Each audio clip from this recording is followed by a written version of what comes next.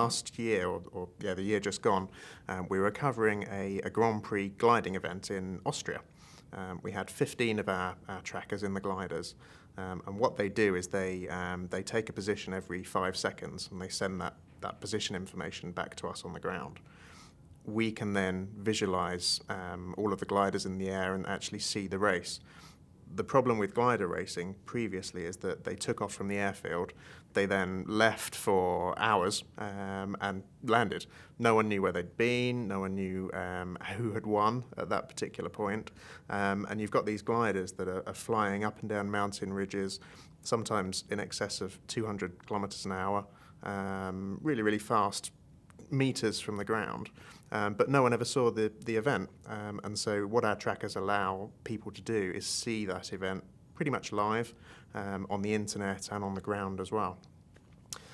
We had uh, a particular day. One of the um, the glider pilots um, had a had a tracker in them. Obviously, we were receiving data, and then suddenly the data stopped we thought that was a bit strange, um, and so after um, a minute or so, we, we looked at the data, replayed the last couple of minutes of his flight so we could see him flying in the air um, and saw that he'd got too close to the ground and crashed. Um, so we were able to get the position at that particular point. We were able to tell the event organisers. They scrambled a helicopter um, to go and find the guy, um, and luckily he was taken to hospital, um, and he's still in hospital to this day, but he's still alive, um, and that's that's the important thing. Um, but without tracking technology like that, um, he may never have, have survived. We may never have known that he had crashed until hours later when everyone else landed and he hadn't. Um, so it's it's very useful, very useful thing. In particular, with the air sports events, it's getting more and more important that um, that there is tracking in, in the devices.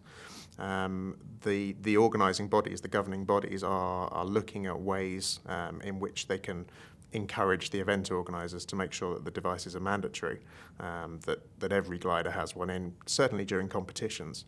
Um, during competitions, it's the, they take more risks. It's, it's the competition's fierce and, and they want to win, and so they, they, they take those risks. Um, and that's the time where accidents happen. So it's very important for them to do that. It comes down to the fact that um, the, you can get a signal out from pretty much anywhere. Um, so it, it, doesn't matter where you are. We've had people um, in the undergrowth in the Amazon canoeing down the Amazon River. We've had people on the top of Everest. We've had people um, up at the, the North Pole, down at the South Pole, in the middle of oceans. It, it doesn't matter um, as long as you can see the sky. And sometimes when you can't see the sky, um, it still works. So, um, so it's it's it's important that it's reliable, and that's that's what we get with um, with Iridium and the Yellow Brick.